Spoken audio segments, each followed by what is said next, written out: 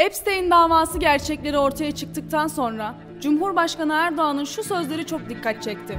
Bir borçluluk psikolojisi içerisinde İsrail-Filistin savaşını değerlendirmemek gerekir. Bakın ben rahat konuşuyorum. Çünkü bizim İsrail'e borcumuz yok. Borçlu olsak bu kadar rahat konuşamayız. Ama borçlu olanlar rahat konuşamıyorlar. Peki sizce Erdoğan'ın bu sözlerindeki gizli mesaj ne? Amerika Birleşik Devletleri'nde geçtiğimiz günlerde bir sinagogun altında tünel ağ keşfedilmiş ve bu tünelin içinden kanlı yataklar, bebek pusetleri gibi malzemeler çıkmıştı.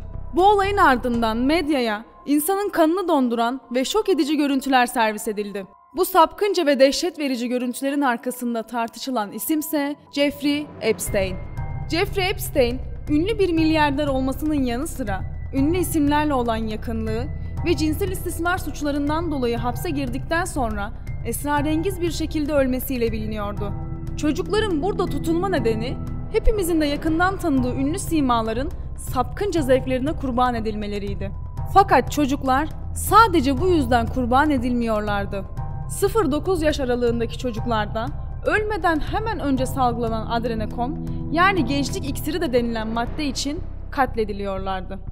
Her detayında dehşete düştüğümüz bu olaydaki söz konusu adaya ilk ayak basanlar, Batı'nın medeniyet timsalleri, Türkiye'yi her fırsatta 3. sınıf ülke durumuna sokan örnek ülkelerin başkanlarıydı.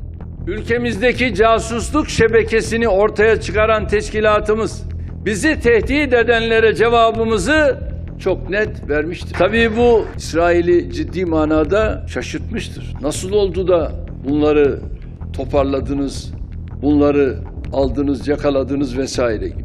Daha dur bakalım. Bu bu işin ilk adımı. Türkiye'yi tanıyacaksınız. Hala tanıyamadınız. Ama tanımaya mahkumsunuz.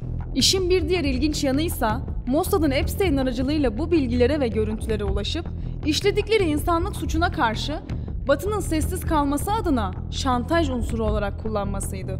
Yani aslında medyaya sızdırılan bu görüntüler bir nevi Mossad'ın ayağınızı denk alın deme şekliydi. Kaldı ki anlayacağınız üzere bu sadece buzdağının görünen kısmı.